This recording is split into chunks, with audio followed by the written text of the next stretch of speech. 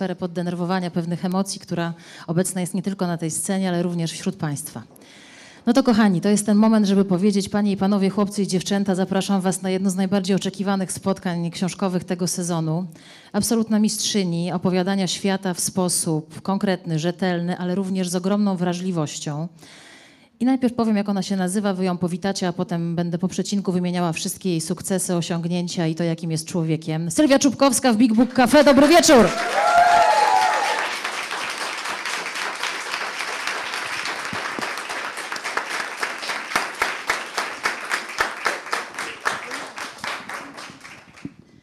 Nie, no nie widzę, żeby mrugnęła powieka. Elementu stresu brak. Ja wiem, no trochę jest stresu. Znaczy wydawało mi się, że się nie będę stresować, bo, no bo jestem człowiekiem mediów i tak naprawdę ciągle funkcjonuję w, w jakimś takim otoczeniu publicznym. Ale to jednak jest stresujące, jak się swoją pierwszą książkę y, wydaje i się czeka na to, jaki będzie jej odbiór. Więc jest, jest taki stres, jest trema. Dziewczyno, taką pracę wykonałaś, że teraz tylko po prostu zbierać owoce tych lat, tych kilometrów przejechanych, tych nie wiem, czy to setek, czy dziesiątek godzin nagranych rozmów, o czym dzisiaj będziemy rozmawiać. Kochani, spotykamy się w pięknym, przyjacielskim gronie, w Big Book Cafe w doskonałej miejscówce kulturalnej, jednej z najciekawszych i najpiękniejszych. Dobry wieczór, witamy, zapraszamy w stolicy i w ogóle w całym kosmosie. Ja witam wszystkich, którzy są na miejscu, którzy postanowili ten, postanowili ten wieczór świętować z nami i wszystkich, którzy nas oglądają w tym momencie podczas transmisji. I dla Państwa tutaj, i dla Państwa online będzie czas na zadawanie pytań Sylwii. Sądzę, że tych pytań będzie mnóstwo. Możecie komentować, piszcie, gdzie nas oglądacie, a Państwo tutaj na miejscu mogą wyjmować notatniki i pisać po prostu tak wiele słów, jak wielu jest Chińczyków na świecie, żeby tymi pytaniami Sylwię dzisiaj zalać. Ja nazywam się Justyna Dżbik-Kluga, jestem dziennikarką i powiem tak, y, Sylwię znacie Państwo doskonale, dziennikarka utytułowana, utalentowana, nagradzana, technologiczna, ekonomiczna, dziennik Gazeta Prawna, Gazeta Wyborcza, teraz absolutna mistrzyni, jeden z najbardziej opiniotwórczych y, serwisów, portali, który mówi o technologiach Spiders Web Plus, to jest jej dziecko, piękne, wychowane dobrze, kulturalny młody człowiek, tak to nazwijmy. A dzisiaj spotykamy się, żeby opowiedzieć Państwu o tytanicznej pracy, którą Sylwia wykonała i widzicie jej efekt. To jest książka Chińczycy trzymają nas mocno, bo Sylwia jest kobietą, która na pytanie, co tam pani w polityce odpowiada, Chińczycy trzymają nas mocno. Ale jedną rzecz powiem wam osobiście i powiem tobie osobiście, bo dla mnie Sylwia jest też twardą babką, która zawsze będzie mi się kojarzyła z ekipą majsterek, dziewczyn, które się nie boją dłuta, nie boją się papieru ściernego, nie boją się wiertarki. Dlaczego więc Sylwia miałaby się bać pandy i smoka? Ja sobie tego nie wyobrażam, a do tego Sylwia jest posiadaczką absolutnie jednej z najbardziej szałowych kolekcji kiecek w mediach i w okolicy. Jeszcze raz brawa dla niej, Sylwia Czubkowska i zaczynamy.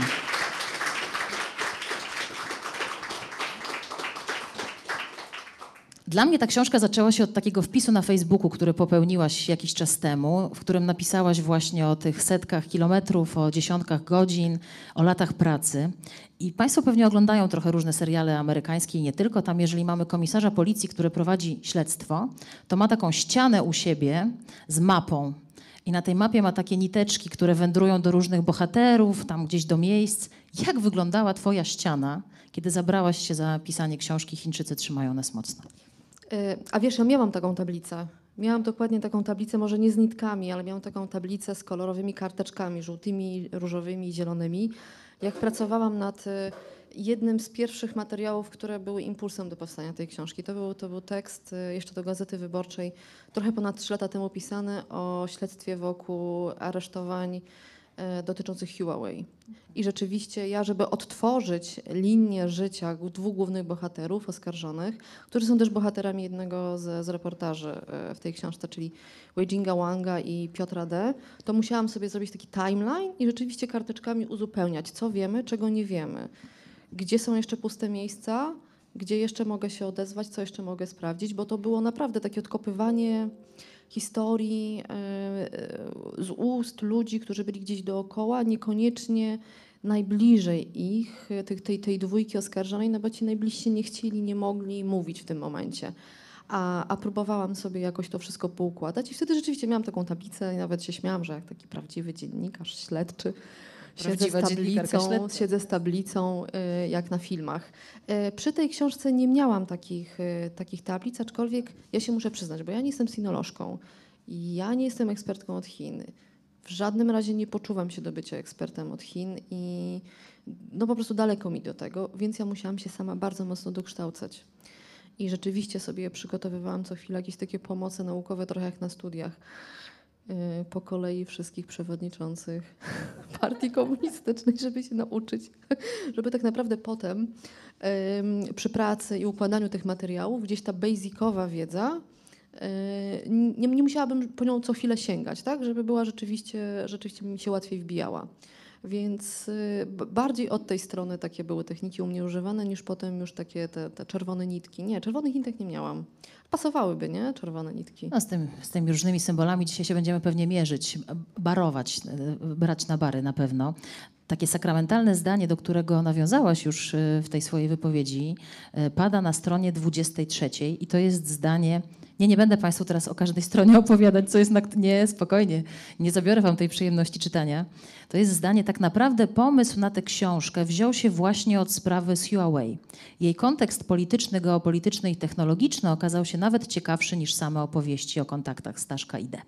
I teraz to moje pytanie, na ile ta sprawa Huawei, którą opisałaś, e, to był też bardzo głośny tekst, stała się dla Ciebie pewną metaforą, czy pewnym takim narzędziem do opisania w ogóle polityki gospodarczej Chin, różnych taktyk, zachowań, działań. Dlaczego ta sprawa Cię tak zainteresowała i sprawiła, że rozlałaś się w swoich poszukiwaniach dużo szerzej? Ona tak naprawdę nie stała się dla mnie impulsem do stricte zainteresowania Chinami. Ona się stała wpływami Chin. Ona bardziej dla mnie się stała impulsem do zainteresowania, jak my się nastawiamy, jak reagujemy, jakie mamy ambicje, jakie mamy am- kompleksy, jakie mamy wizje tego, co nam Chiny mogą przynieść, dobrego i złego. I jakoś cały czas ten, ten sposób myślenia o wpływach chińskich wydaje mi się mm, może nie tyle ciekawszy, co y, bardziej do nas przemawiający.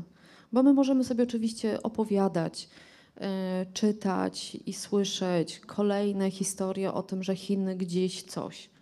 I co z tego? Tak naprawdę kluczowa jest to, jak reaguje ta druga strona, która jest w jakiś tam sposób inspirowana, na, na nią się wpływa, na nią się naciska. A to, jak reaguje, bardzo mocno zależy właśnie od lokalnego kontekstu, od tego, mm, no dokładnie, od tych ambicji, które się ma lub się nie ma w danym miejscu, społecznych, gospodarczych, politycznych, od kompleksów, od tego, jak się widzi swoją pozycję, e, jak się, jakie ma się przekonanie co do wiedzy na temat Chin, dokładnie.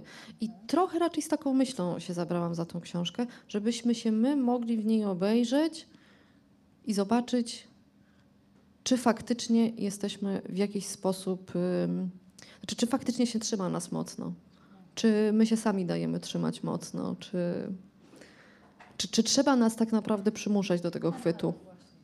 No, pani redaktor, jak to mówią w naszym pięknym kraju, jak nie wiadomo o co chodzi, to chodzi o pieniądze. I tutaj jest kolejny cytat, już nie powiem, nie no powiem, że z 286 strony, ale to nie akurat nie najważniejsze.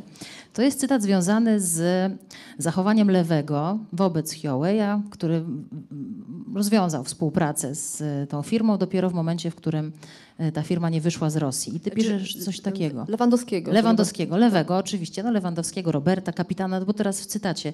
Postawa kapitana polskiej reprezentacji wcale nie jest powszechna, wręcz przeciwnie. Z zasady, gdy pojawia się chiński inwestor, partner czy sponsor główny, y, go- gotowy wyłożyć pieniądze, nie pada zbyt wiele pytań o powiązania z władzami Chin, ani o długofalowe plany tego inwestora. Pierwszy błąd? Nasz pierwszy błąd? Że nie padają pytania?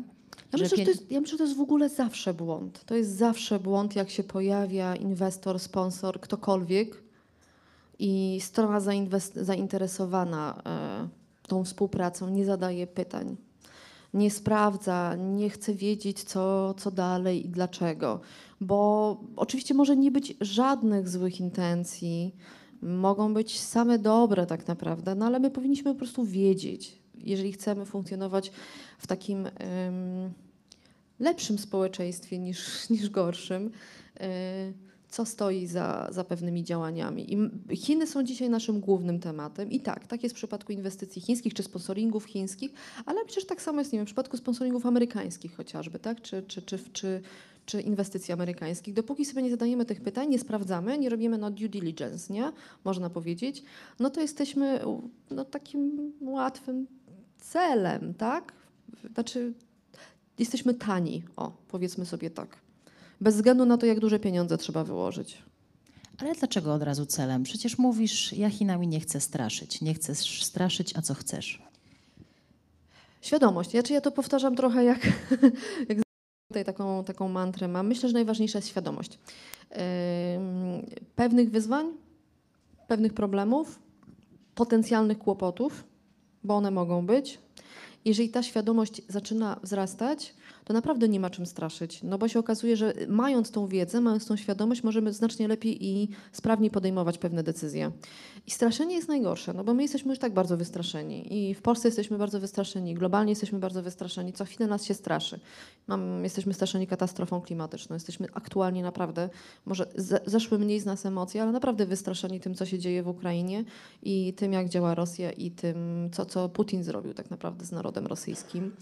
Jesteśmy wystraszeni też sytuacją geopolityczną, bo te, no, jak bardzo jesteśmy wystraszeni sytuacją geopolityczną, pokazuje to, co się działo kilka tygodni temu na Tajwanie, z Tajwanem właściwie, tak, z wizytą Nancy Pelosi. My tutaj w Polsce byliśmy już, po prostu już czekaliśmy na wybuch trzeciej wojny. I te nastroje się po prostu wszędzie przewijały. W sensie oczywiście nie może, nie w, w rozmowach na ulicach, ale że tak powiem na Twitterze to już tam odliczano, który statek i ile jeszcze potrzebnych jest e, samolotów nad strefą powietrzną Tajwanu, żeby tam Chiny weszły. To nie jest takie proste i to nie jest takie oczywiste i to nie...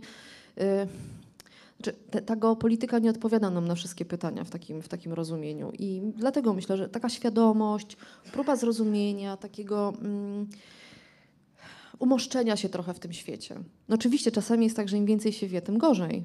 Nie? No bo nieświadomy człowiek jest raczej bardziej zadowolony, nie? Jest mu się swobodniej Tylko żyje. Tylko, że dzisiaj jest ciężko być takim zupełnie oderwanym i nieświadomym, tylko efekt jest taki, że albo nas bombardują ułamki i jesteśmy bardzo przestraszeni, albo zaczynamy, albo zaczynamy się rzeczywiście trochę w tym wszystkim mościć i się okazuje, że może nie mamy jednostkowo, no bo nie mamy takiego wpływu na wielkie decyzje, na wielkie zmiany, ale przynajmniej przestajemy tak emocjonalnie podchodzić do każdego kolejnej, każdej kolejnej informacji. Znaczy ja tylko chciałam za, zaraportować, że myśmy mieli z mężem dwa dni temu taką rozmowę, jaki drugi język po angielskim dla dziecka ośmioletniego i było, że może hiszpański, może francuski. Po lekturze książki Chińczycy trzymają nas mocno, wyszłam, powiedziałam tylko chiński. Więc myślę sobie, że to, mówiąc całkiem serio, może nie tylko, ale obok innych. Ale a propos tego lęku, wiesz, twój, jeden z twoich bohaterów, takim akordem kończącym książkę jest rozmowa świetna zresztą z autorem książki Silent Invasion, e, Clive'em Hamiltonem, e, który mówi o tym, że jego wydawca się wycofał z wydawania jego książki Cicha Inwazja. Znak się nie wycofał. No właśnie, bo to jest tak. Ja bardzo chciałam podziękować, chyba nie ma niestety dzisiaj Łukasza. To y, Łukasz Grzemisławski był pomysłodawcą tego, żeby książka się kończyła wywiadem.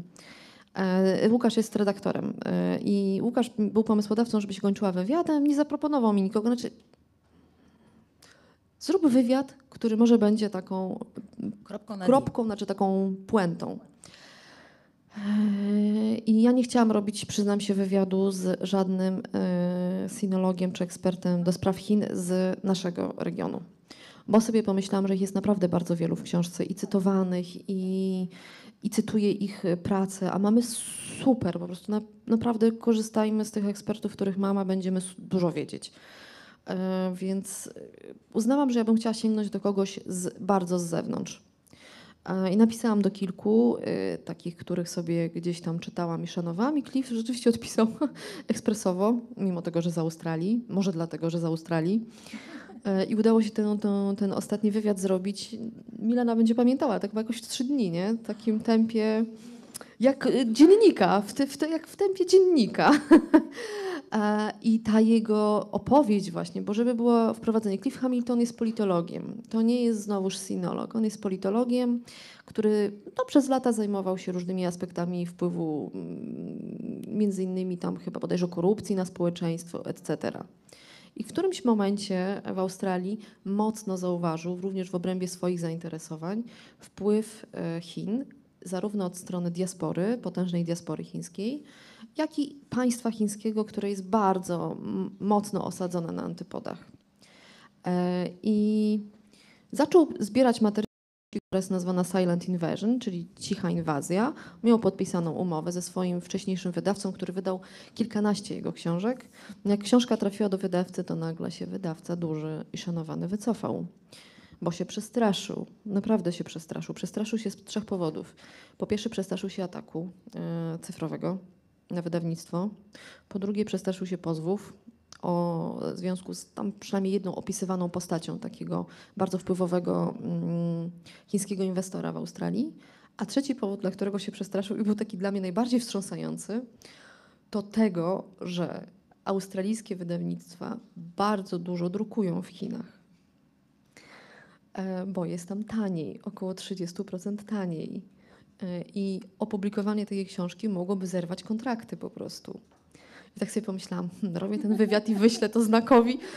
No ciekawe, jak zareagują.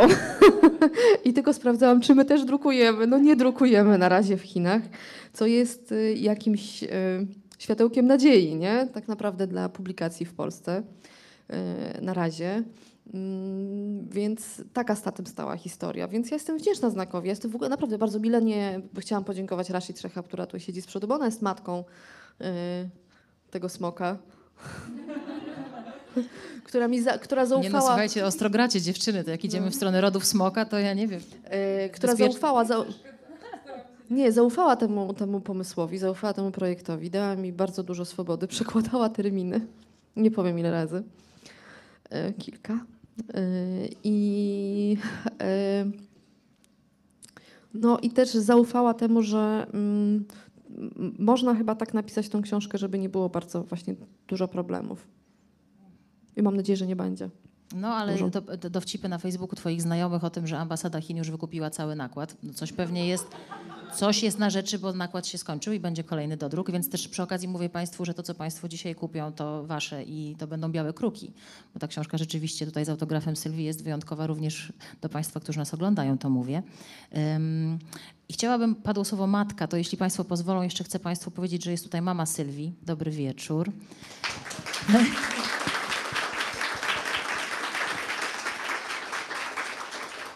Co jest zawsze bardzo piękne i dziękujemy, że Pani dzisiaj jest z nami. Myślę, że dla Sylwii to jest najważniejszy gość, najważniejsza gościni.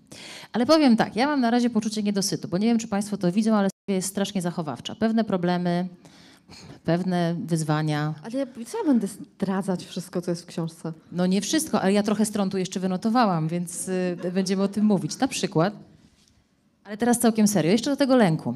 Ym, y, może nie lęku, ale do tego, jak sobie wyobrażamy Chiny. Piszesz... Y, Taki fragmencik. Do Polski oficjalnie wchodził amerykański Amazon. Polski potentat przesyłkowy InPost zapowiadał uruchomienie kolejnych tysięcy paczkomatów. Allegro właśnie świętowało głośny giełdowy debiut. Na tych ruchach skupiła się uwaga opinii publicznej. O wiele mniejsze zainteresowanie budził tajemniczy magazyn przy zachodniej granicy, niepozorne niebieskie maszyny paczkomatowe z logo AliExpress, które po cichu i bez fanfar pojawiły się nagle na ulicach polskich miast i miasteczek. Nie budziły wielkiego zainteresowania, choć są dowodem na to, że chiński e-handel właśnie rozpoczął nowy etap zainteresowania nie tylko Polską, ale tak naprawdę całą Europą.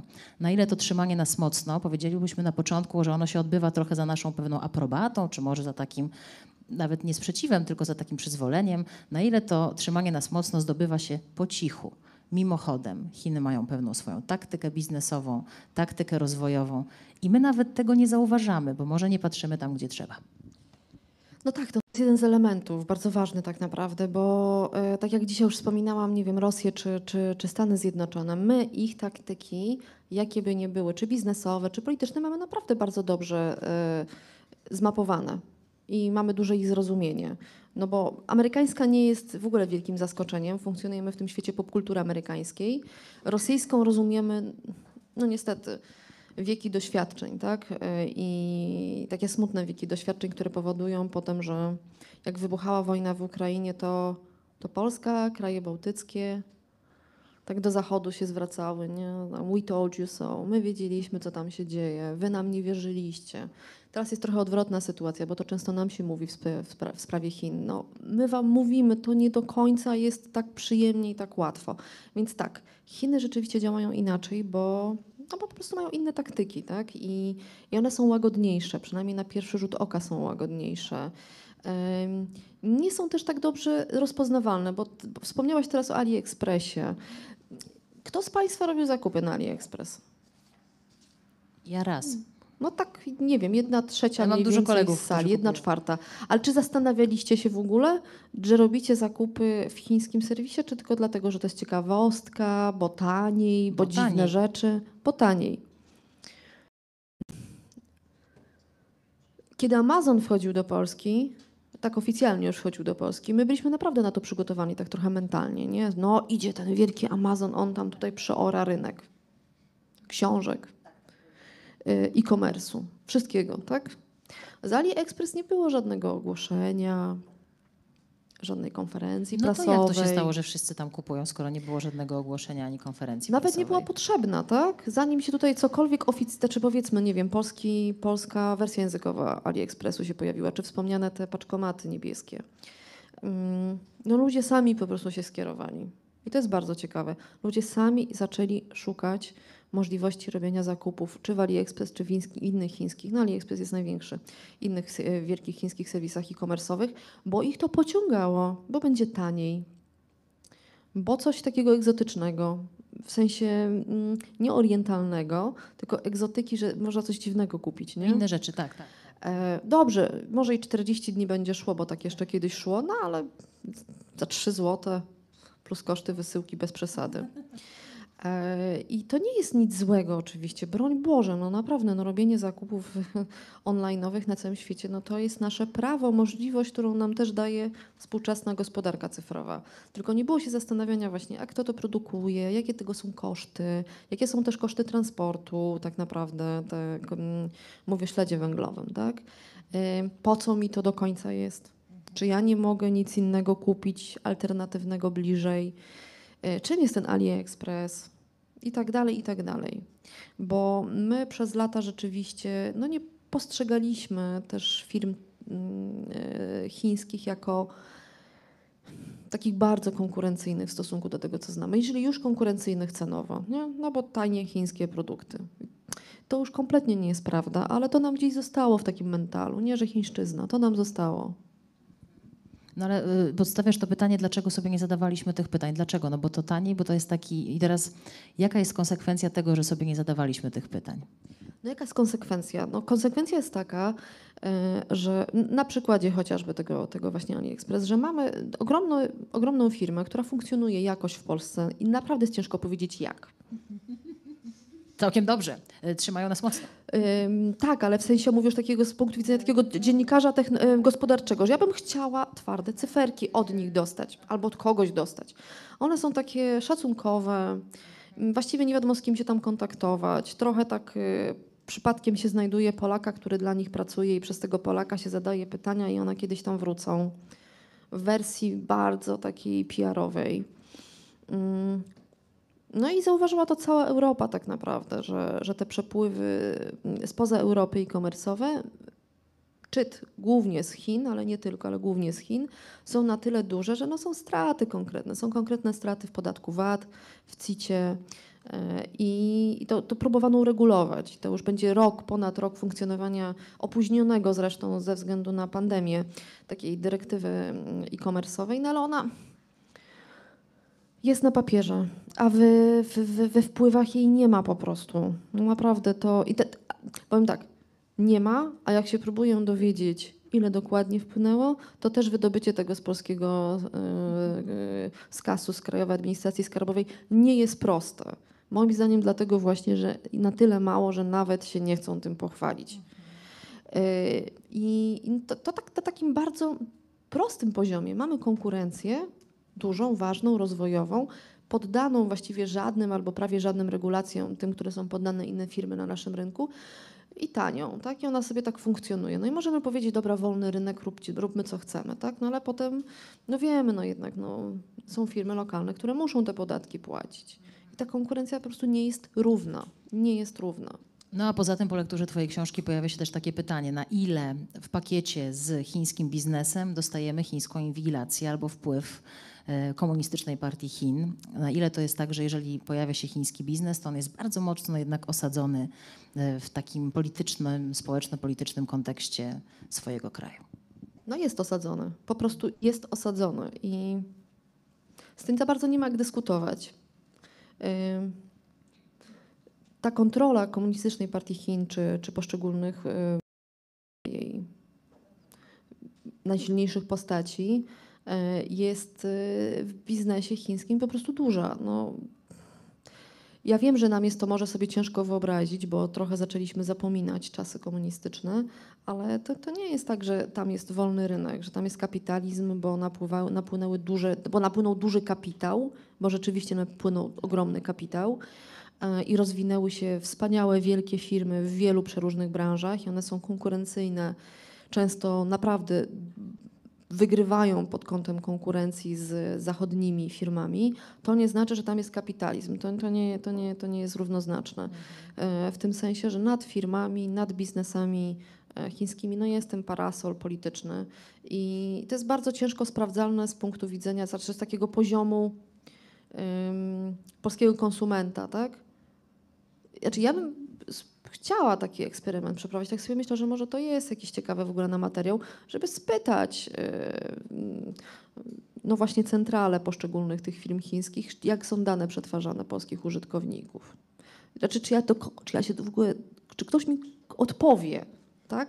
No nikt mi nie odpowie. Ja tak samo jestem krytyczna na przykład w stosunku do amerykańskich big techów, ale też równocześnie jestem przekonana, że jakby one nie robiły dużo różnych, no nie zawsze korzystnych rzeczy, jeżeli chodzi o mm, zarządzanie naszymi danymi, wykorzystanie nas i tak dalej, monopolizację pewnych rynków, to jednak są wciąż poddane cywilnej kontroli demokratycznego państwa, jakim są Stany Zjednoczone.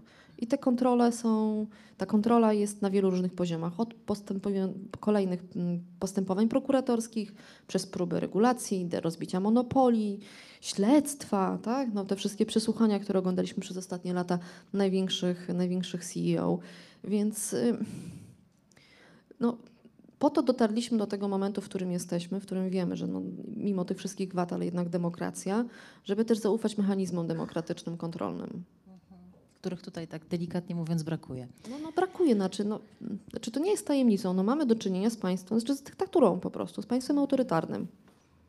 I, I koniec, no, czy z tym nikt nie dyskutuje. Znaczy, nie, nie znalazłam jakiejkolwiek poważnej dyskusji, czy poważnego publicysty, czy, czy, czy eksperta, który by udowodnił, że w Chinach jest demokracja. I jest kontrola cywilna, i jest y, państwo prawa w takim zachodnim tego słowa znaczeniu. No i też jest świetny rozdział, o taki, o, on się nazywa chyba Bracia w dezinformacji, kiedy mówi się, tak powtarza w mediach to, że w Chinach, nie wiem, nie ma internetu, czy nie ma Facebooka, co nie znaczy, że na Facebooku, na YouTubie nie ma chińskich ludzi, którzy nie mówią do swoich obywateli, dyplomatów, nie wiem, dziennikarzy, czy jakichś opinion leaders, którzy wysyłają taki komunikat jak chcą, korzystając z tych narzędzi jak najbardziej ogólnoświatowych, ale jak mówi twój ekspert, globalizacja jest dla Chińczyków w porządku tylko wtedy, jeżeli to jest globalizacja w jakimś takim ich rozumieniu, czy, czy na ich zasadach. Robisz w tej książce wiele kapitalnych rzeczy. Jedną z nich jest, profesor Jerzy Bralczyk podobno zna całego pana Tadeusza na pamięć. Ja myślę, że Sylwia Czubkowska zna na pamięć Sztukę wojny Sun Tzu. Ponieważ ta książka, y, to co jest świetne, drodzy Państwo, to jest to, że każdy rozdział zaczyna się od jakiegoś fragmentu sztuki wojny i jak się to czyta w kontekście książki Sylwii, to się dostaje po prostu takich płomiennych rumieńców. No bo A to, chociaż też, to też pomysł Mileny, trzeba Milenie podziękować. Milena, do, miałam był dobry mało pomysł. pracy, miałam mało pracy, więc Milena wymyśliła jeszcze, a zacznijmy każdy rozdział od cytatu Sun Tzu. No ale to skoro pomysł Milena, ale twoja realizacja doskonała zresztą, to zastanawiam się, jak ty czytałaś y, Sztukę wojny Sun Tzu, mając te wszystkie informacje z twojego śledztwa, bo mam wrażenie, że to nabiera naprawdę innego wyrazu, mając wiedzę szerszą. A to też mam wrażenie jest po części ciekawa historia pod kątem takim em, warsztatowym. Bo rzeczywiście pomysł z tym, żeby w pewien sposób u, tą książkę em, tak u, uporządkować za pomocą tych cytatów Sun Tzu, to, to padł w lutym, tuż po wybuchu wojny w Ukrainie. I, I tak sobie myślę, no muszę kupić tego Sun Tzu, bo nie będę korzystała z internetu, bo na pewno będę miała pytania potem od radiostacji o źródła. Więc muszę kupić książkę. E, I weszłam do jednej z księgarni warszawskich, która zresztą wtedy była w bardzo trudnej sytuacji. Pierwsze, co mi się rzuciło w oczy, mówię, no nie, no dobra, no jak się rzuciło w oczy, to już nie dyskutuję z tym pomysłem. Kupuję i będę używała. I na początku chciałam pójść na skróty, trochę jak lubią czasami dziennikarze, a tam sobie wyszukam cytaty i tam wrzucę, nie? Coś dopasuję. Potem się okazało, że to się tak nie za bardzo nie, da. Przestań, nie idź tą drogą, nie, mów Nie tak, da to nie się było, to się wytnie. Nie dało się za bardzo z tym tak zrobić, bo, bo ten Sun Tzu nie jest taki prosty. My go tam znamy rzeczywiście z jakichś takich wybranych, wszędzie powtarzających się cytacików, a on w postaci książkowej jest znacznie bardziej rozległy, więc ja musiałam naprawdę to przeczytać, przy- przeczytać. Musiałam przeczytać i dopiero jak przeczytałam, to mogłam wyłapywać te fragmenty, te cytaty, które będą pasowały do konkretnych rozdziałów. Więc dziękuję Ci Milena, dołożyłaś mi jeszcze jedną książkę do czytania. Było bardzo ciekawie. Ja tylko powiem, że mnie się zrobiło słabo, kiedy Sylwia powiedziała, że nie chciała tego ściągnąć z internetu, w sensie tekstu, bo pomyślałam, Boże, nie chcesz z internetu, bo będzie ocenzurowany na pewno w internecie ten tekst, więc Nie, To już- nie. trzymają nas mocno. Widzicie, to jest mental. E, Strona 271, rozdział 9. Wojna to tao postępu, choć jesteś zdolny, udawaj przed wrogiem mało zdolnego. Gdy gotujesz się do działania, stwarzaj pozory bierności. Jeżeli twój cel jest bliski, zachowuj się tak, jakby był odległy. A gdy jest odległy, udawaj, że jest bliski. W tytule książki, w podtytule jest o tym, że Chiny kolonizują Europę, w tym Polskę. Jak Chiny kolonizują Europę, w tym Polskę? Drodzy Państwo, wyjmujemy kanapki. Ta część zajmie nam 7 godzin. Tak, no właśnie, znaczy jak kolonizują. Ech. To nie jest kto, skutecznie? Dziękujemy, bardzo dobrze. Skutecznie. To zaczniemy od Państwa. Jak kolonizują? Mimochodem. Mimochodem. Mimochodem. Mimochodem, to nie jest tak, że Polska jest gdzieś państwem, które sobie Chiny wymyśliły do kolonizacji, jest na celowniku i wybierają i planują i mają do tego całe specjalne, y, wyspecjalizowane jednostki, które się tylko Polską zajmują, albo Europą Środkową. Tak nie jest. My jesteśmy naprawdę mimochodem, po drodze, bo wszędzie indziej już byli, są. Więc dlaczego by nie w Europie Środkowej? Więc mimochodem i, i to jest taka kolonizacja, do której... To nie jest taka kolonizacja, jaką my sobie wyobrażamy jak kolonizację. To, znaczy nie jest jaka? tak, że wchodzi wielki kapitał, przejmuje wszystko, albo jest to kolonizacja taka militarna, bardzo siłowa. To jest raczej próba mm, rzeczywiście no, po prostu skłonienia do współpracy, Pokojowy wzrost. No. tak, win-win. Y, Obie strony wygrają na tym. Ym, Wprowadzenia mm, takich firm, czy takich inwestycji, czy takich działań dyplomatycznych, które będą skłaniały kolejne instytucje publiczne, prywatne, uczelnie, polityków, publicystów, dziennikarzy i tak artystów. No może to mniej czujemy może w Europie, no ale tu przykładem jest właśnie Hollywood. Em, no, żeby się nie stawiać. No. no przecież oni nie chcą nic złego. Więc po co tutaj drążyć za bardzo? Po co za dużo pytań zadawać? Po co o jakimś Tybecie mówić? Albo Hongkongu, albo Ujgurach, albo Tajwanie, albo za chwilę czymś jeszcze, tak? Przecież jest biznes do zrobienia. Skupmy się na biznesie. Skupmy się na, tym, na tej inwestycji. Skupmy się na tych szczepionkach, na maseczkach, po które samolot wielki poleciał, nie? I był wielki sukces. A to, że pół, pół pusty, maseczki bez certyfikatów i nie za darmo, tylko płatne, no, pff. znaczy, tak mocno możemy grać, jak druga strona na to pozwoli. I to, jest, to są tego typu działania, więc to nie jest taka kolonizacja per se, tak? To nie jest, to nie jest kolonializm, y, jaki Zachód urządzał y, przez dekady i wieki na świecie. To jest wykorzystywanie naszych słabości. Dlatego mówię, bardziej się w tej książce skupiałam na nas niż na Chinach. Na tym, ile my. Po, tam jest też taki cytat, którego oczywiście nie pamiętam, bo ja się nie nauczyłam tych cytatów na pamięć, ale jest bardzo piękny. e, Sun Tzu o jajku. Jajku y, wrzucanym bodajże tam w metal i tyle się może ugiąć, ile ta druga strona pozwoli. Więc trochę tak jest. No. Tak, tak, dużo, tak dużo, jak my pozwolimy, tak wejdą Chiny. To nie znaczy, że, żeby było jasne, bo ja mam wrażenie, że ty nie miałaś takiego wrażenia, jak czytałaś tą książkę, żeby wszystko odciąć. I skasować, Przecież kazałam dziecku się chińskiego uczyć po tej książce. Ale nie, żeby wiesz, nie zamknąć się żelazną kurtyną, odciąć, nic nie kupować i w ogóle. to, to kontrproduktywne. stawiać- Nie, nie, zupełnie nie. Wprost przeciwnie. Ja odebrałam, żeby się uczyć od takiego doświadczonego gracza. A propos graczy, myślę, że nasi politycy mogliby się jednej rzeczy z tej taktyki chińskiej nauczyć. Nie wiem, czy się ze mną zgodzisz i jeżeli możesz ten wątek rozwinąć, bo ta chińska taktyka jest niezwykle długofalowa.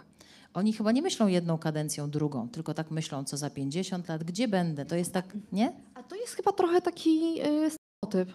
Znaczy, oczywiście, że Chiny tam Ale myślą tysiącami, no, no, no, no, tysiącami no. lat, a nie na przyszły rok, ale No też nie przesadzajmy. dziesiątkami. Nie przesadzajmy, to nie jest aż tak idealna dyktatura, tak kreatywne państwo i tam wszystko już jest tak świetnie rozpisane i Nie, wszyscy nie, to nie aż tak, wiedzą. ale pod kątem tego, wiesz, tego właśnie mimochodem, tego bycia, to nie jest plan na dwa lata, na trzy, tylko na 10-15, na dłużej, pod tym kątem. Znaczy, ja bym nie chciała, inaczej, ja bym chciała, żeby w Polsce były plany na dwa lata. To już będzie nieźle. Nagrało się doskonale. Nie? Bo to już by było nieźle. Nawet jakby były plany na 4 lata między wyborami do zrealizowania, one byłyby naprawdę planami, a nie planami takimi PR-owymi, nie, że gasimy pożary, to już będzie super. Ale to dobrze, bo y, pierwszy nakład wykupiła ambasada chińska, drugi nakład wykupi KPRM. To do, dobrze Na pewno. kombinujesz. Dobra, ale to... to mów o tym planie, bo weszłam w zdanie. Y, KPRM na pewno, prędzej kancelaria prezydenta. Y, tak między nami. Uważaj o czym, uważaj, o czym myślisz. Między nami. Nie, no, y, nie przesadzałabym też z takim y, demonizowaniem właśnie tej mocy Chin, tak? Bo na tym demonizowaniu też jest zbudowana y, ich narracje. Skoro są tak potężne, to co my możemy? Co my możemy? Oni tam już mają plan na 50 lat, wszystko wiedzą, wszystko rozpisali, jeszcze dysponują takimi budżetami Nie, i takimi spokojnie. firmami, więc y, nie demonizujmy też, bo, no bo w efekcie to właśnie tu się na tych demonizowaniu się ten strach bu- buduje, tak? I to przekonanie bezsilności. Nie, nie, to zupełnie raczej poznajemy plan, żeby móc go zmieniać jakoś kreatywnie.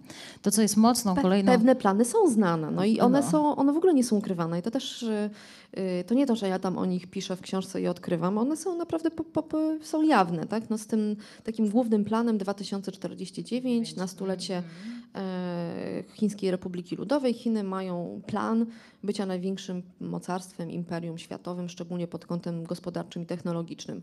I to rzeczywiście realizują, ale tam są y, trzy kroki do przodu, jeden krok do tyłu, bo coś też nie wychodzi, tak? E, nie wiem, czy im kibicować. Nie pytałam o to, żeby nie było. A tak sobie myślę teraz, że może powinniśmy im kibicować, no, bo jednak y, tam jest ogromny postęp technologiczny czasami. Czemu czasami? No bo tak jak mówię, to nie jest tak, że wszystko jest takie łatwe do wprowadzenia i jest, ta, ta technologia jest aż tak doskonała i poddaje się naszej woli zawsze. No dobra, to ja też się dałam zmanipulować, bo jak sobie przypominam takie zdanie z książki jednego z twoich ekspertów, że technologia to jest, y, że każdy kraj powinien mieć swoją technologię, bo to jest taka broń, taka oręż i to właśnie oni na tym budują, tak? Że myślisz sobie, Boże, my nie mamy technologii, nie wiem, no jakieś mamy, tak? Znaczy, to Nie jest takie. koncepcja suweren- cyfrowej, cy- cy- cyfrowej suwerenności. I, I tak, znaczy my się coraz mocniej też, szczególnie w Europie, czy też w naszym kawałku Europy, budzimy, że no, pff, właściwie to nie mamy nic. Albo bardzo mało, albo bardzo mało tych strategicznych technologii, które by były y, gdzieś nasze. Mm, Też nie, nie wydaje mi się, że mamy potencjał, i tutaj nie chcę niczego umniejszać, ale niestety ostatnie lata to pokazują. Nie do końca mamy potencjał, żeby w takim rozbiciu walczyć o tą suwerenność cyfrową, cybersu takim zacietrzewieniem na każdym polu. No chyba sojusze są kluczowe, tak? E, No, tylko trzeba wiedzieć, z kim te sojusze. Trzeba sobie coś zmapować, obliczyć, sprawdzić, gdzie są rze- rzeczywiście jak, i jakie są te koszty, tak? I co nam konkretne korzyści da, a co nas obciąży. I jeżeli obciąży nas, to w jaki sposób, na jak długo. E, Są państwa, które są. Ostatnio w wywiadzie dostałam pytanie, które z państw Unii Europy, że Europy Środkowej, tych, który, którymi, którymi, które opisuję, ma najlepiej mm, zmapowane kontakty z, z Chinami. I ku zaskoczeniu pytając odpowiedziałam, że Węgry. Nie dlatego, że są takie super suwerenne w tych kontaktach, tylko po prostu Orban, jego rząd wie, co chce, wie, dlaczego chce to od Chin. To bierze. No a w jakim celu? No własnej polityki, tak? Nie, nie, nawet nie budowy silniejszych Węgier, tylko budowy silniejszego rządu Orbana i oligarchii. Yy, I pod tym kątem rząd Węgier ma dobrze zmapowane swoje potencjały.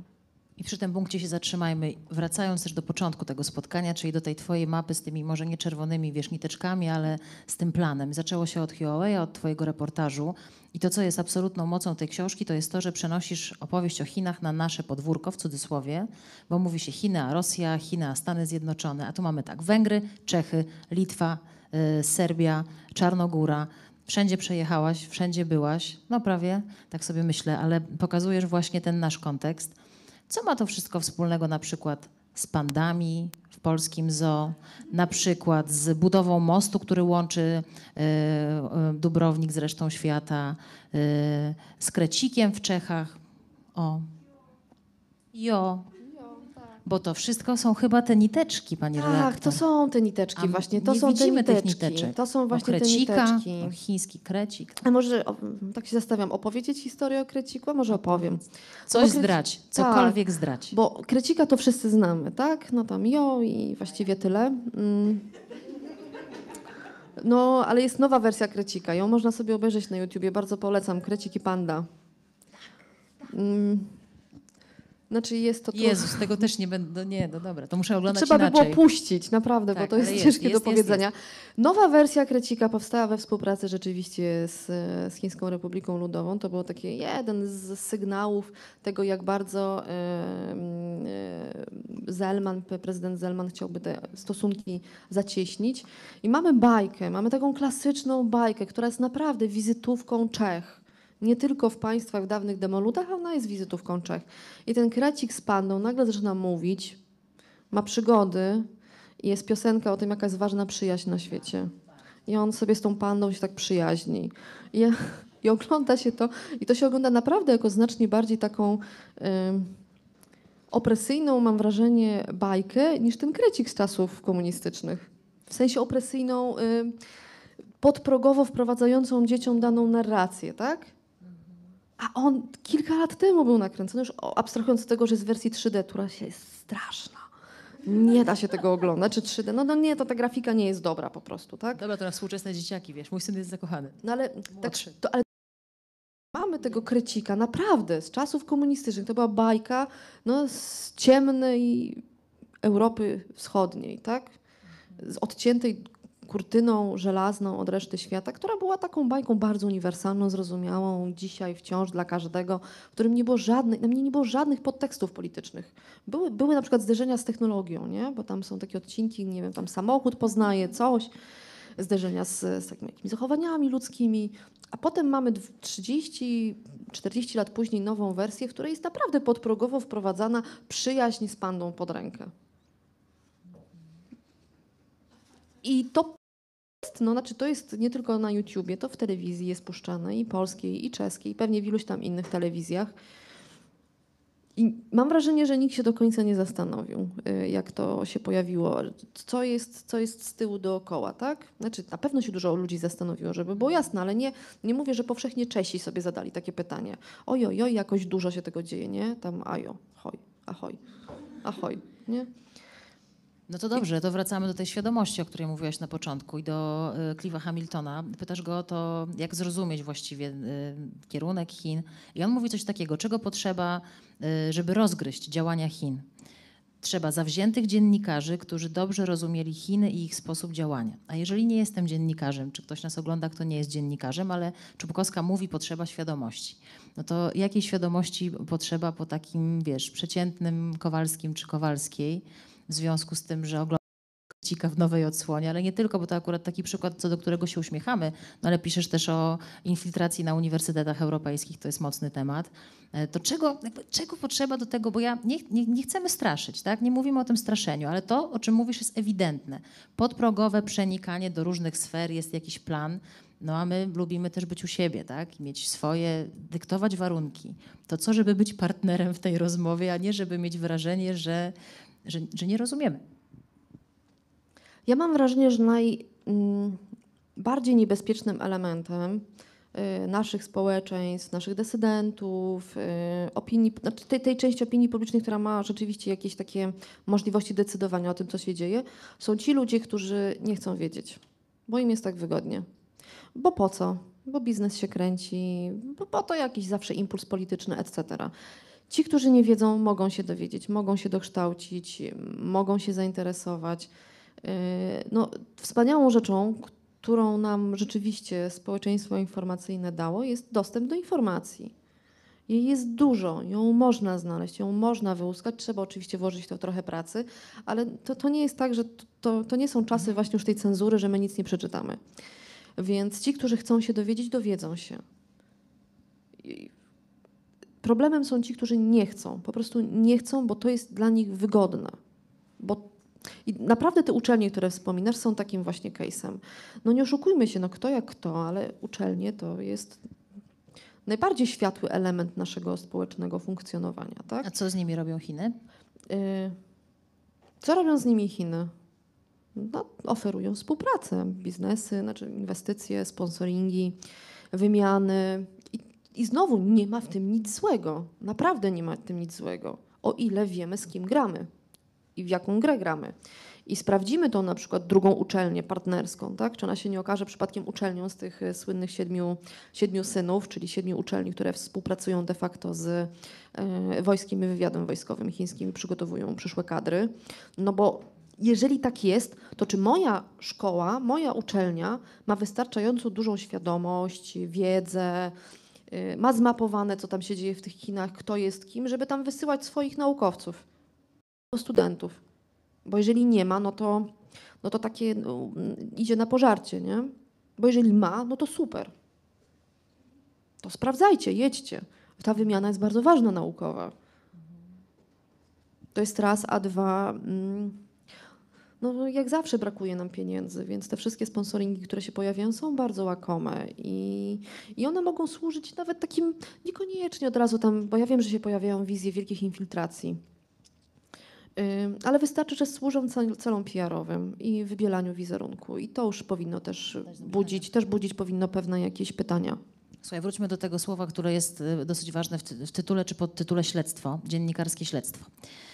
Ym, na ile to było tak, że kiedy zabrałaś się za ten temat y, chińskich wpływów, to bohater odsyłał cię do bohatera. Kraj y, prowokował wizytę w kolejnym kraju. Na ile to, może też to nie to, że jakaś, wiesz, Mission Impossible się zaczęła, ale na ile ta książka była w twojej głowie zaplanowana, a na ile wchodząc na tę ścieżkę podążyłaś tropem kolejnych tu Krecika wspomniałyśmy, uniwersytetów, no tego mostu i tak dalej, i tak dalej. W naszej części Europy, jak to ładnie mówimy, tak? Była po części zaplanowana.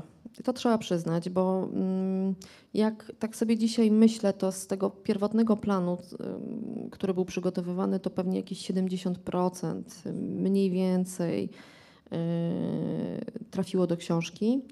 Przy czym coś się zmieniło. Na- Początkowo był taki ambitny plan, że to będzie 17 plus 1 rozdziałów, tak jak jest układ 1, 17 plus 1 Chiny plus e, Europa Środkowo-Wschodnia. 17 rozdziałów plus jeden o tym, jak y, tam Chiny widzą nasz kawałek świata. No ale wyszło 12 plus epilog i wstęp, więc powiedzmy, że 14. Bywa i tak.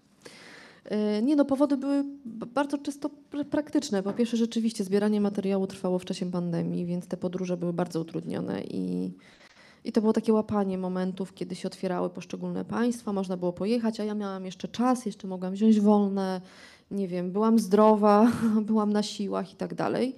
E, Więc, e, więc były te ograniczenia takie praktyczne, ale też takie, ja to mówię trochę takie ograniczenia przestrzenne, bo ona ma trochę ponad 400 stron ta książka. Gdybym ja naprawdę wszystko, co sobie gdzieś tam jeszcze planowałam, do niej dołożyła, to wyszłaby Szoszana Zubow. Y, I chyba znak by się nie zgodził, nie?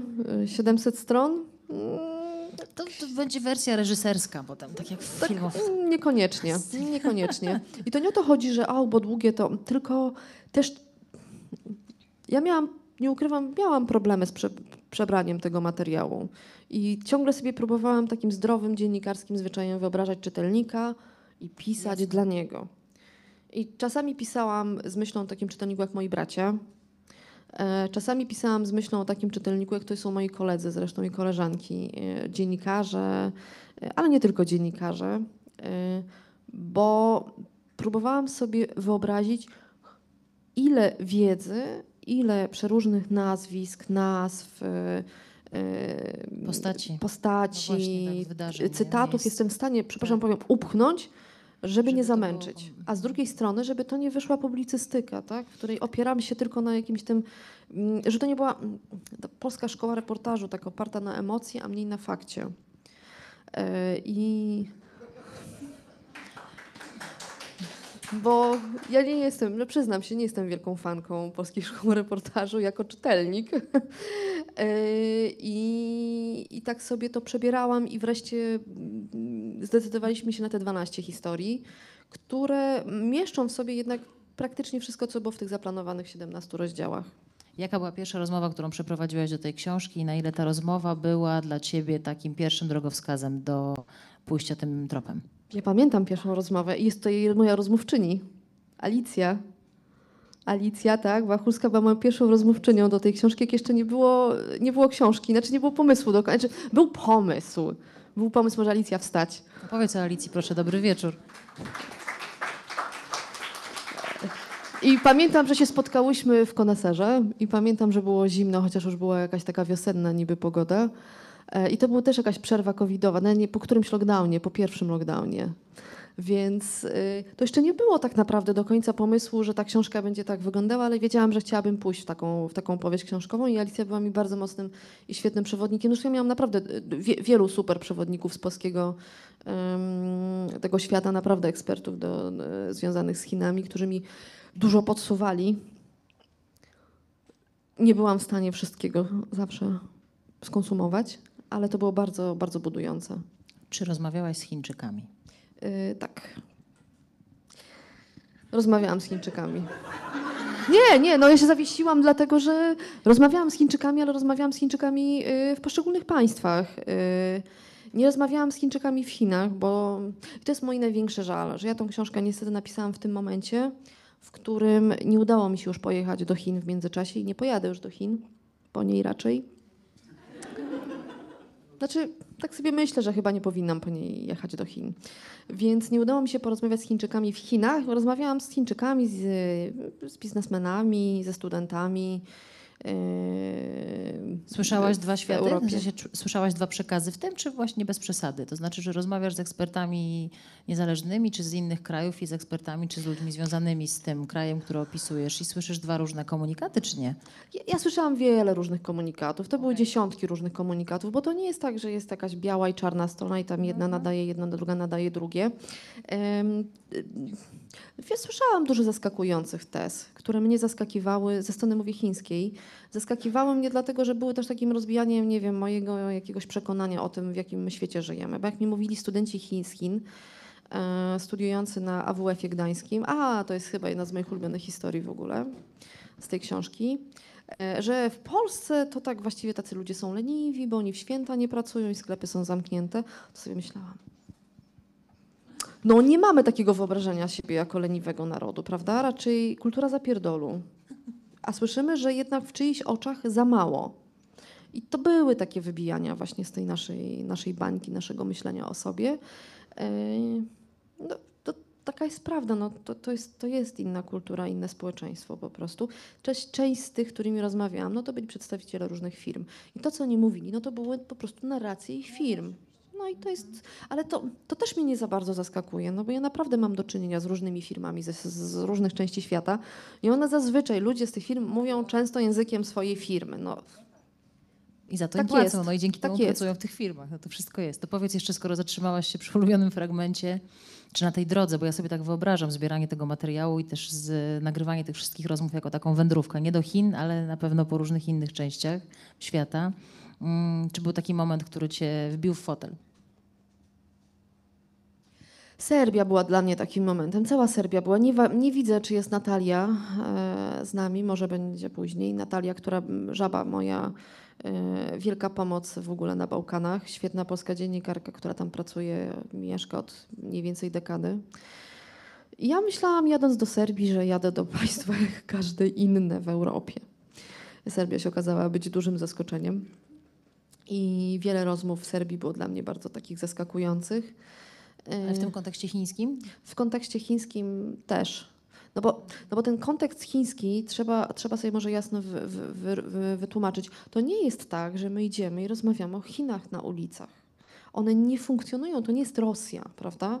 To nie jest ten bliskie, to nie jest to bliskie nam zagrożenie, ten, ten niedźwiedź, yy, który rzeczywiście gdzieś bardzo kumuluje rozmowy i, i zainteresowanie ludzi. A w Serbii miałam tak, że szłam do ludzi totalnie niezwiązanych z moją książką, znaczy z tym tematem, z tymi tematami i oni też mieli swoje zdanie na temat Chin.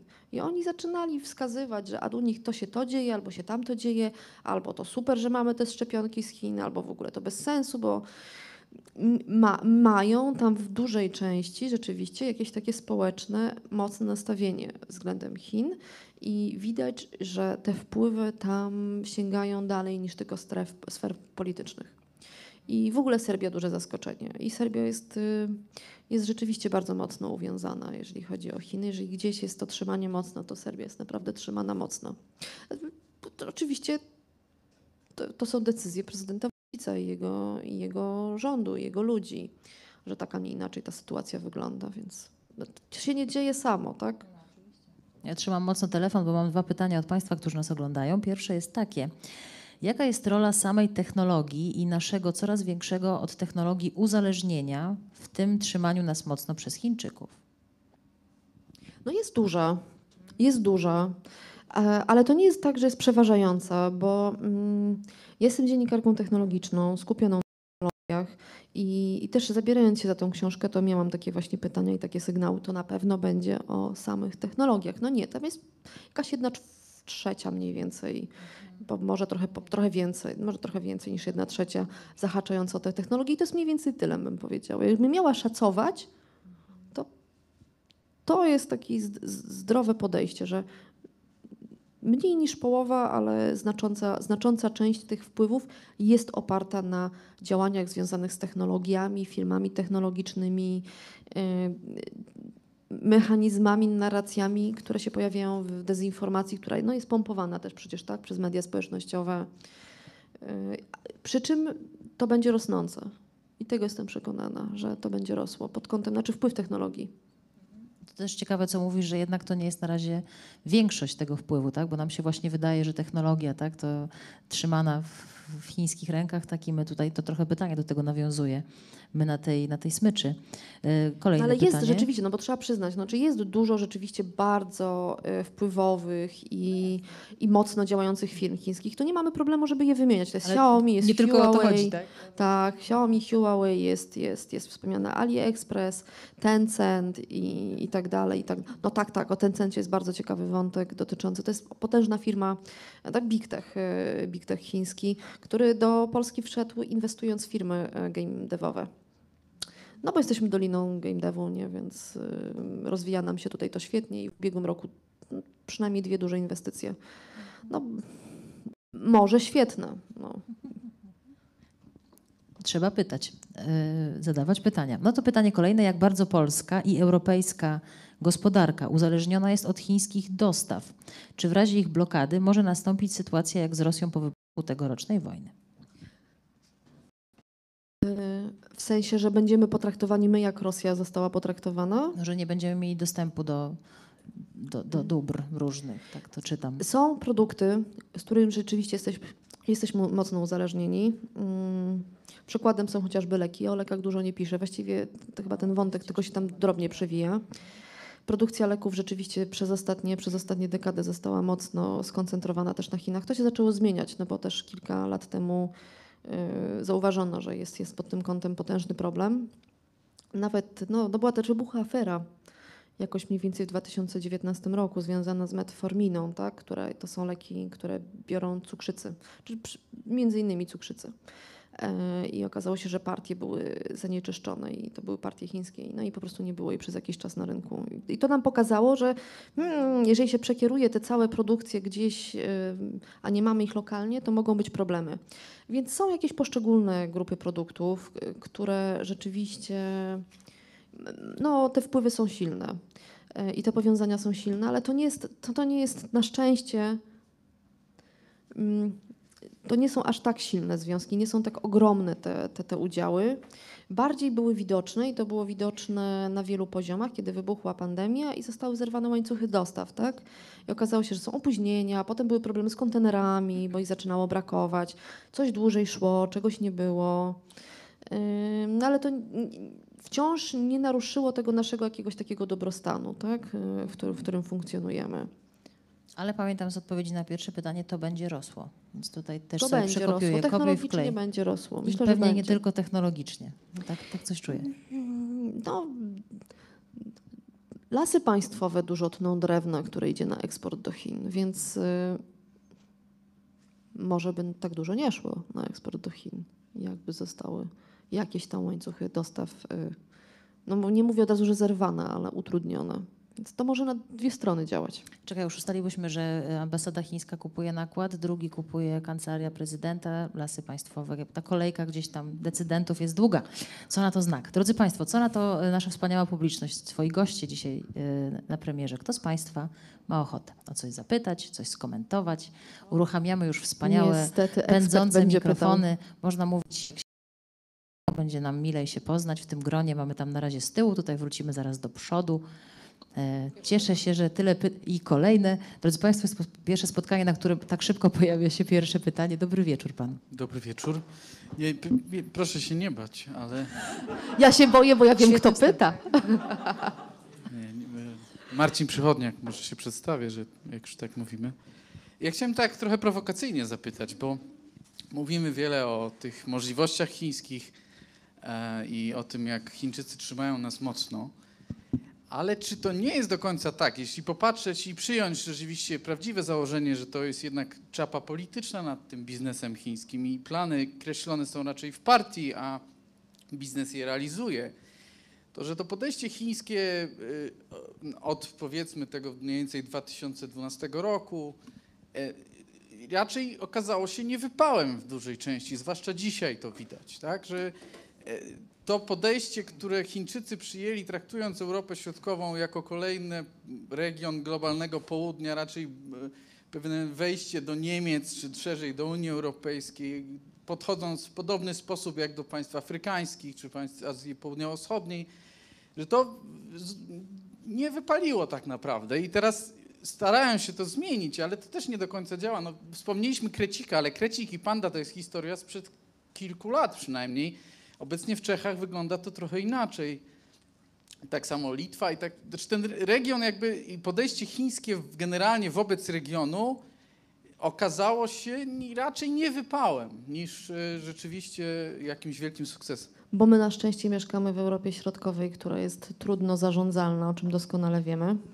Yy, I zasady się słabo poddajemy różnym wpływom. Ale tak, ja bym na to spojrzała jeszcze inaczej. Bo my możemy. I, I rzeczywiście staram się też te historie pokazywać, tak? Chociażby litewski ten zwrot, jakbyśmy mówili ładnie geopolitycznie, pivot. Em, ja widzę te zmiany zachodzące zarówno w stronę odcinania kontaktów, czy też osłabiania kontaktów z Chinami, jak i jakiegoś tam umacniania z powodów, no tak naprawdę stricte wewnętrznych, jako element zmiany, którą obserwujemy, która jest wynikiem większej lub mniejszej właśnie tej świadomości.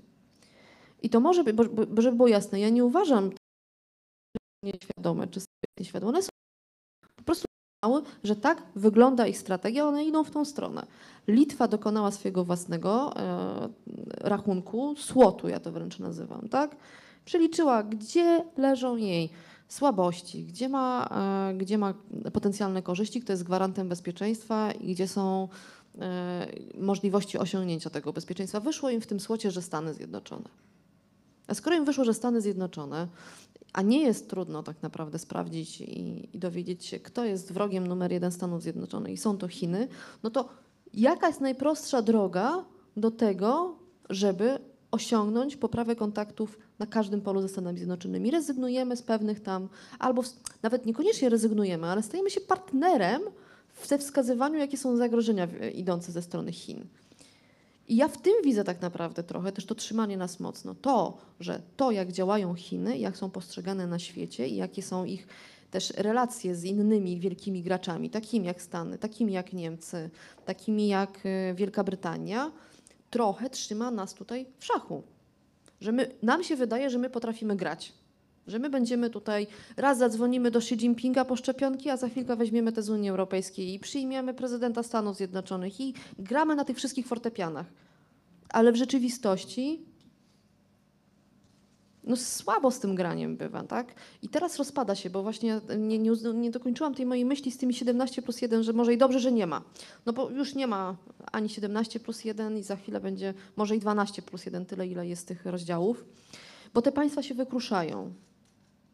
Ale ja mam poczucie, że co z tego, że się wykruszają, jak wciąż jako region my nie mamy jakiejś wspólnej takiej myśli, co moglibyśmy tak naprawdę osiągnąć. I cały czas te Chiny, jak mniej lub bardziej, nawet powiedzmy od tyłu, właśnie trochę nas tam trzymają. Nawet jeżeli są elementem właśnie tej rozgrywki takiej, takiej politycznej. Więc tak, to nie jest tak, że właśnie. Ja też w tym widzę tak naprawdę wielką siłę tego naszego regionu, że my nie jesteśmy tacy prości do, do, w sensie tutaj. Znaczy.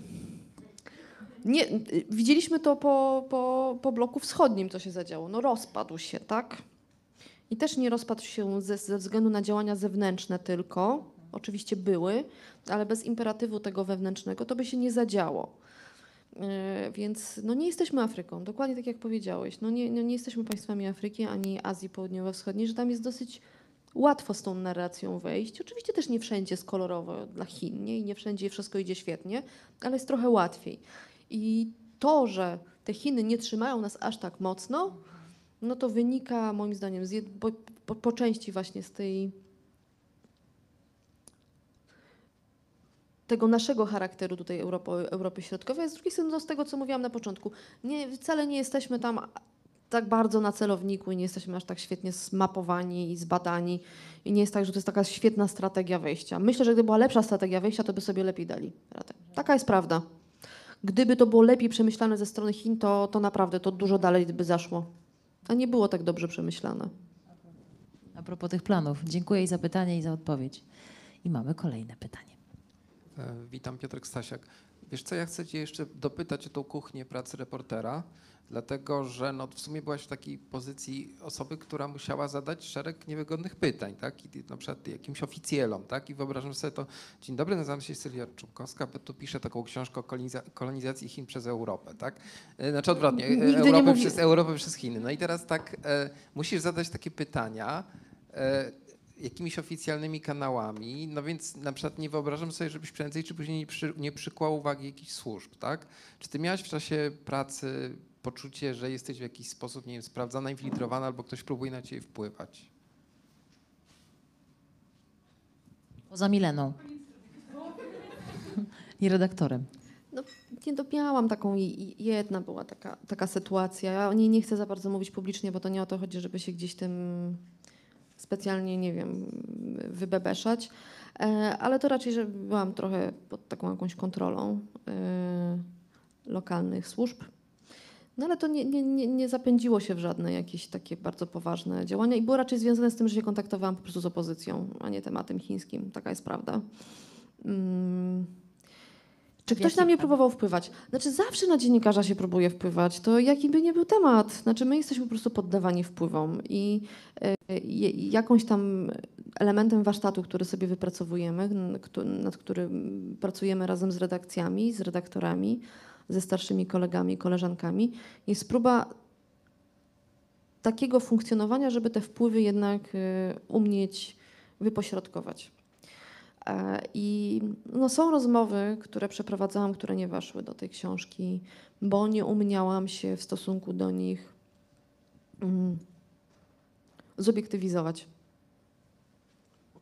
Miałam poczucie, że właśnie nie umiem sobie tutaj postawić tej kreski i ocenić, czy ktoś mi mówi to, co chcę usłyszeć, czy ktoś nie działa za bardzo właśnie na moich takich emocjach i uznałam, że to w ogóle wolę tego nie ruszać i odpuścić sobie. Trochę mi szkoda było niektórych takich, szczególnie jednej takiej rozmowy, mm, ale z perspektywy czasu myślę, że ona by dużo nie wniosła, a mogłaby wprowadzić tylko taki zamęt właśnie czytelniczy przy czytaniu. Yy, Więc no to ja mam zawsze problem z mówieniem e, o warsztacie e, reportera, bo on jest dla mnie taki Fascynujący. taki naturalny, w sensie, że tutaj nie ma żadnych zasad. Znaczy, ja nie studiowałam dziennikarstwa i w ogóle znam bardzo mało dziennikarzy, którzy studiowali dziennikarstwo, więc my się uczymy tak na y, żywym organizmie, nie? Idziesz, rozmawiasz, czasami musisz być miły, czasami musisz być ostry, czasami warto, nie wiem, być bardzo empatycznym, czasami warto grać głupią dziewczynkę, czasami wręcz przeciwnie. Ja na przykład przyznam się, że przy zbieraniu tego materiału do tej książki, to nikomu nie mówiłam, że ja zbieram książkę o, materiał do książki o, kolonia, o próbach skolonizowania Europy Środkowej, tylko mówiłam wprost o tym, jak Chiny funkcjonują i wpływają na Europę Środkową. I A w jakim kraju była ta sytuacja, od której zaczęłaś? no, w tym takim najciekawszym. Mówiłam. W Serbii. E, W Serbii były takie, takie podejścia. Ale one naprawdę nie. To nie jest tak, że tam się coś zadziało. Z punktu widzenia tak na zewnątrz na pewno nic ciekawego. Ale to właśnie nie to, co na zewnątrz, tylko to, co ukryte jest najciekawsze. Bardzo proszę, tam się Państwo zgłaszają dalej do zadawania pytań, co jest wspaniałe, bo to często dla autorów jest najprzyjemniejsza e, część spotkania, kiedy pytają Państwo. Y, Ponieważ uwielbiasz mówić o swoim warsztacie, to ja mam pytanie o warsztat. jako dziennikarka bez dziennikarskiego wykształcenia do dziennikarki bez dziennikarskiego wykształcenia. Y, Ja chciałam zapytać, y, mm, jak korzystałaś z fikserów na miejscu y, i o kwestię tłumaczenia, no bo mimo swojej onieśmielającej inteligencji i elokwencji wiem, Sylwia, że nie mówisz w tych wszystkich językach, więc jakby byłam ciekawa, bo to jest czasami bardzo ważne, paradoksalnie. Yy, I też, czy jadąc już gdzieś od razu wiedziałaś, z kim będziesz rozmawiać i na ile jakby rozwój sytuacji był em, spontaniczny, dochodzili bohaterowie, dochodziły wątki i jak sobie to wszystko opracowywałaś? O. Miałam jedną fikserkę, właśnie wspomnianą Natalię Żabę e, na Bałkany. I tyle, jeżeli chodzi o fikserów. Więcej fikserów nie miałam. Mm, Co do języków. Wspaniale nam się funkcjonuje, naprawdę muszę to przyznać, proszę Państwa, w świecie, w którym ogromna część ludzi mówi po angielsku. I prawie, prawie, prawie wszędzie, za wyjątkiem rzeczywiście Bałkan, angielski najzupełniej wystarczał do naprawdę bardzo dobrych kontaktów. Do tego stopnia, że ja będę podawała to wszędzie jako po prostu przykład yy, rozmowy z ministrami litewskimi prowadzone na tak świetnym poziomie, nie tylko komunikacji, ale właśnie angielszczyzny, yy, jakości tego kontaktu. Znaczy ja żeby wytłumaczyć, jak to wyglądało praktycznie. Wysyłałam prośbę o rozmowę w poniedziałek, we wtorek dostawałam odpowiedź, czy może być czwartek. To się nie dzieje tak normalnie w Polsce. Czasami oczywiście tak, ale to się dzisiaj tak nie dzieje. I to były rozmowy długie, pogłębione.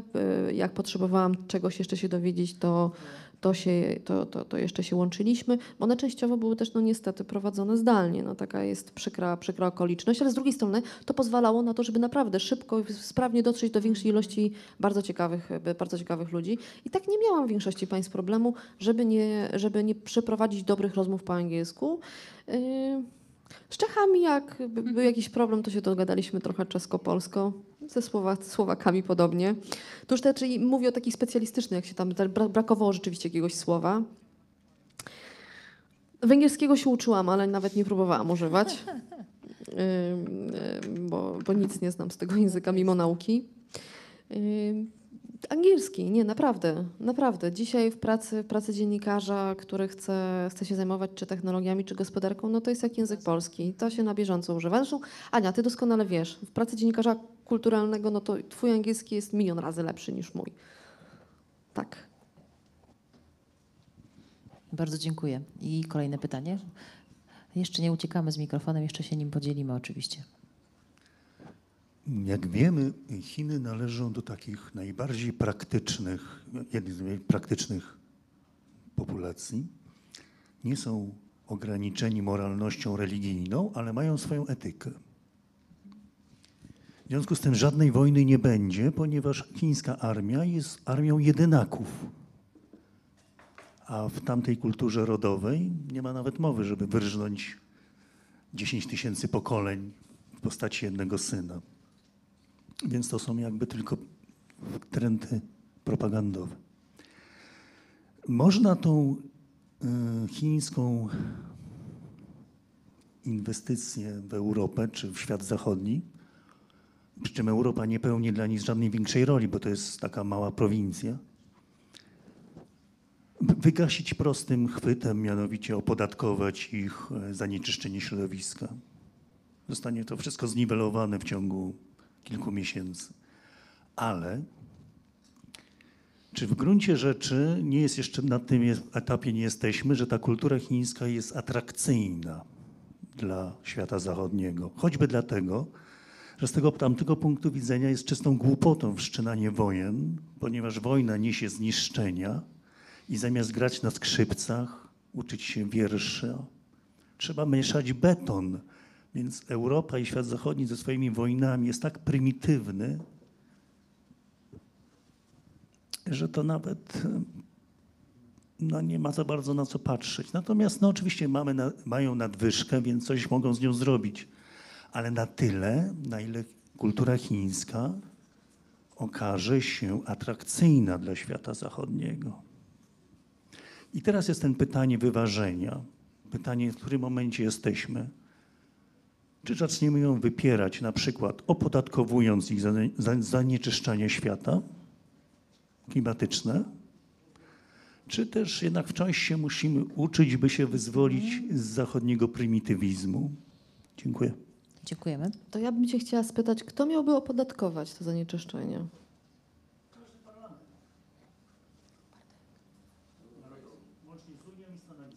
No ale to opodatkowujemy kogo? Firmy chińskie działające w danym państwie?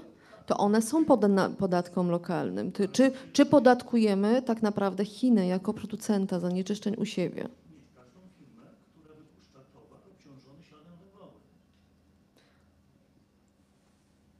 No to prawdę mówiąc, to jest piękna idea, tylko ona nie dotyczyłaby a wyłącznie Chin. Y, Po drugie, firmy już są opodatkowywane danymi skala, skalami podatkowymi w konkretnych państwach. Dołożenie dodatkowego podatku pod tytułem tylko podatku związanego z kwestiami klimatycznymi zapewne jest rozważane i nawet jest realizowalne. Tylko ja nie widzę do końca, jakby rozwiązywało to kwestię e, e, rozwoju potencjału chińskiego.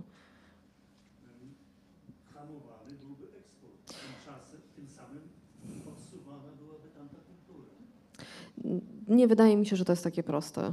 Podatek, jak wiemy doskonale niestety z funkcjonowania podatków, jakaś część zawsze jest po prostu przesuwana na konsumenta, na odbiorcę, więc dałoby się to e, zrównoważyć no, w ten sposób, to jest raz, a dwa, y, za dużo widzimy praktycznego przesuwania tego typu podatków, po prostu, znaczy, obawiam się, że wie pan, co się pojawiłoby? Handel po prostu podatkami.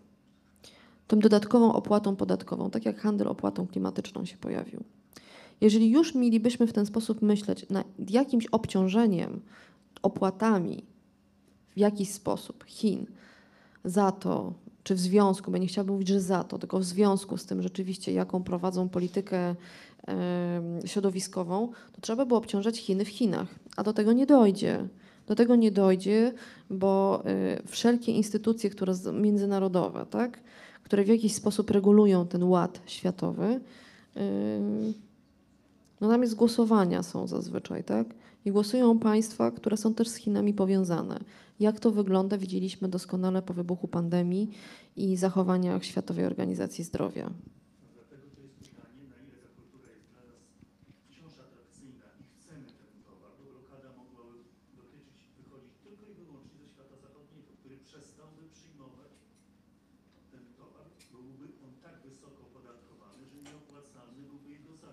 A ja mam takie poczucie i pozwolę sobie włączyć się w tę dyskusję, która się rozkręca, że to jest ten moment, kiedy zaczynamy się przenosić na rozmowy w podgrupach.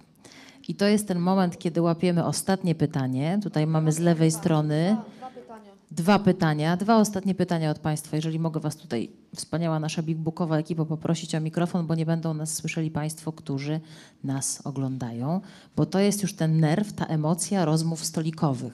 I od razu Państwu powiem, że tutaj to wszystko tak będzie pięknie rozwiązane, że tutaj mamy dwa pytania. Tak, tak, zadamy dwa pytania. y, tutaj mamy chyba, właśnie tu będzie, do- dostawimy stolik, Sylwia będzie na scenie, będzie podpisywać książki, będzie można porozmawiać. A teraz czas jeszcze na finał od Państwa. Bardzo proszę. Kaja Flaczyńska mnie już ekscytuje podrozdział e, Nasze Zdrowie, ale było Twój zysk, ale teraz mnie zainteresował ten wątek geopolityczny i polityczny. E, taki, w jaki sposób Polska, jako nie taki bardzo duży gracz, powinna szukać sojuszy. No bo z jednej strony w ostatnich miesiącach mamy raczej wzmacnioną świadomość tego, że nasze bezpieczeństwo narodowe bardziej zależy od Unii Europejskiej, od NATO i Stanów Zjednoczonych i ta współpraca militarna i bazy w Polsce się rozwijają. Z drugiej w ostatnich latach e, Chiny bardzo rozwijają się technologicznie w zakresie chociażby technologii odnawialnych i rozmawiamy z nimi na temat e, e, rozwoju elek- elektryki, elektrowni jądrowych w Polsce. Mają bardzo dobrą e, technologię. I na podstawie rozmów, które przeprowadzałaś, powiedziałaś, że ta książka też, że ważna jest ta świadomość. Zastanawiałam się, jaka jest świadomość też naszej klasy politycznej wobec tych wszystkich e, wyzwań, bo ja na razie widzę, że wszyscy zakładamy konta na TikToku i czy to też nie jest ten moment, że powinniśmy sobie zadać pyta- to pytanie, którego sobie nie zadawaliśmy przy AliExpress i, e, no, jako obywatelka też e, jestem ciekawa, jakie były twoje wrażenia, jeśli chodzi o rozmowę polit- z politykami? Mm, Świadomość polityczna w Polsce. Drodzy Państwo, wyjmujemy te kanapki. Otwieramy No. bar. Y, Ja nie chcę mówić, że jest tak bardzo źle i w ogóle nie ma tej świadomości i tak dalej, bo to jest takie najłatwiejsze, na, najłatwiejsze, najłatwiejsza odpowiedź by była. Y, To, to raczej jest tak jak, tak, jak, tak jak mówiłam po prostu rzeczywiście o tej całej książce. Chiny są elementem w, polityki wewnętrznej, bardziej elementem polityki wewnętrznej niż elementem polityki zagranicznej. My nie mamy strategii kontaktu z Chinami. My używamy Chin w taki sposób, jaki w danym momencie klasie politycznej czy tam osobom przy władzy wydaje się, że przyniesie szybki, dobry efekt. Jeżeli prezydent Duda uważa, że dzwoniąc do Xi Jinpinga o szczepionki rozegra jakąś wewnętrzną historię, a była to historia pod tytułem Komisja Europejska nie chce nam dać szczepionek, więc my weźmiemy może z Chin, to zrobi to.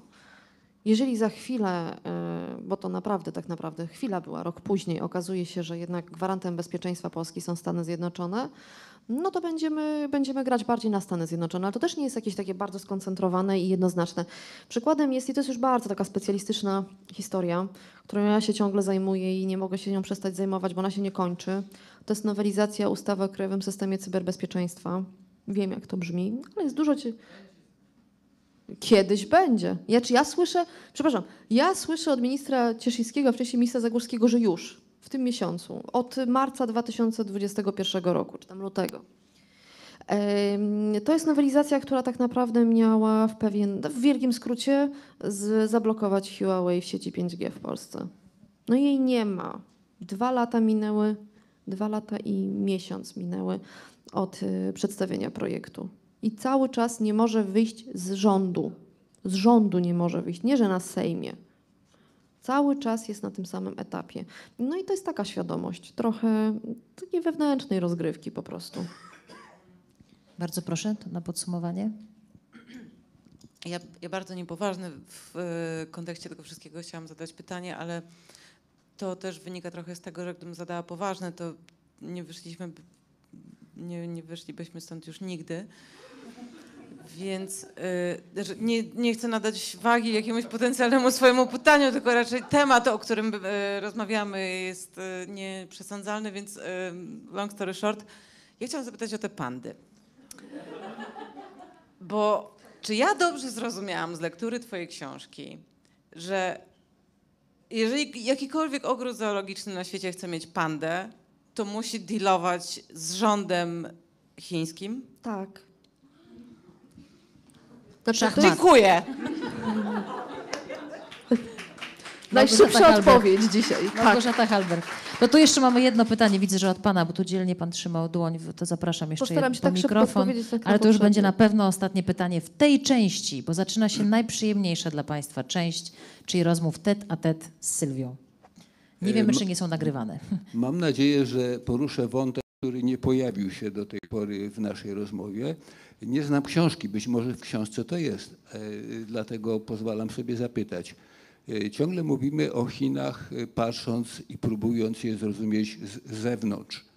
Bardzo chciałbym wiedzieć, co myślą o sobie Chińczycy, jakie mają, jak widzą swoją kulturę w- porównaniu z naszą kulturą. Wiem, że oni ją wi- widzą jako zdecydowanie wyższą. Prawda? Jak, jakie widzą swoje mocne i e, słabe strony. E, bo dopiero wiedząc coś o wrogu, partnerze, przeciwniku, wszystko jedno, ja mogę sobie wyrobić jakieś sensowne zdanie. Jestem zamknięty ciągle w poglądach e, obserwatorów Chinu, Chin z zewnątrz. Czy może Pan coś na ten pan powiedzieć, proszę? Ja się, tak jak mówiłam wcześniej, jeszcze raz podkreślę, no naprawdę nie jestem sinolożką, więc ta moja wiedza o Chinach z Chin nie jest aż tak dogłębna jak wielu ekspertów, ale w takim dużym podsumowaniu, no nie bez powodu państwo środka. To państwo widzi się jak środek świata. E, Centrum, serce, tak, wokół którego krąży cały nieboskłon. E, I to, znaczy to bardzo dużo mówi. To bardzo dużo mówi o mentalności nie tylko społecznej, tak, ale również takiej politycznej i, i aspiracjach. Yy, I tak sobie myślę, bo bym panu chciał jakąś dobrą książkę doradzić o Chinach. Znaczy na pewno, znaczy to nie jest stricte o Chinach, a to jest po prostu bardzo dobra książka. Jest, ym, jest no, biografia Mao, tak? Ym, Dwojga autorów, mąż i żona. Tam nasi eksperci na pewno pamiętają, jak się Ja nazywają. tylko powiem, że to jest taka bibliografia. Ta, tak, to jest bardzo dobra, a, to jest bardzo dobra książka, naprawdę. W sensie ona też, opowiadając o Mao, też bardzo dużo mówi o Chinach. I to jest klasyka, naprawdę klasyka e, świetnego pis- pisarstwa i jak ją jeszcze raz w tym roku czytałam, w tym, w tamtym roku ją czytałam, a czytałam ją poprzednio na studiach, to sobie tak wzdychałam, bo tam to jest taka bibliografia, ile oni tam dokonali rozmów. No, no mega, mega. Ale u Ciebie ta bibliografia też jest i zakończymy, drodzy Państwo, tym, czym Sylwia zaczyna e, rozdziały. Najwyższą formą realizacji sztuki wojennej jest udaremnienie planów przeciwnika, niższą rozbijanie jego sojuszy, jeszcze niższą atakowanie jego armii, a najniższą szturmowanie ufortyfikowanych miast. A taktyką Sylwii Czubkowskiej jest zdobywanie świadomości i korzystanie z niej mądrze. I tego Państwu życzę po lekturze. Pięknie Wam dziękuję. Sylwia Czubkowska. Chińczycy trzymają nas mocno.